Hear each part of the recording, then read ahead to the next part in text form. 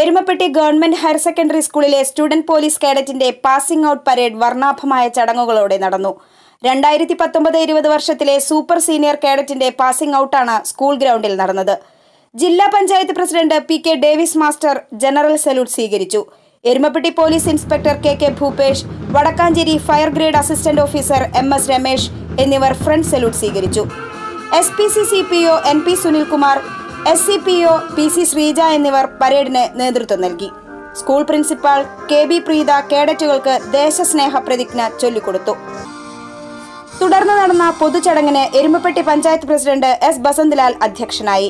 ജില്ലാ panchayat president P K Davis മാസ്റ്ററെ ചടങ്ങിൽ ആദരിച്ചു. പരേഡ് കമാൻഡർമാരായ ലക്ഷ്മി ചന്ദന ജാസ്മിൻ പ്രണവ് ഫ്ളാഗ് ബെയറേഴ്സായ വർഷ മണികണ്ഠൻ ഷിഫ്ന ഷെറിൻ ശ്രീനന്ദിനി എന്നിവർക്ക് ഉപഹാരം നൽകി അനുമോദിച്ചു.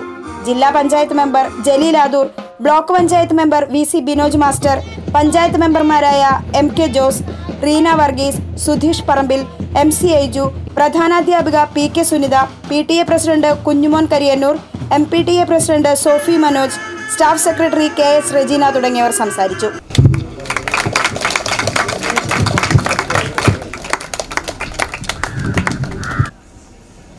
ആത്മാർത്ഥതയും അർപ്പണബോധവും സമൂഹത്തിലേക്ക് തുറന്നു വെച്ച കണ്ണുകളും ഉള്ളവരായി മാറാൻ നമ്മുടെ വിദ്യാർത്ഥികൾ നമ്മുടെ യുവജനങ്ങൾ സ്വയമേവ സന്നദ്ധരായി മാറണം.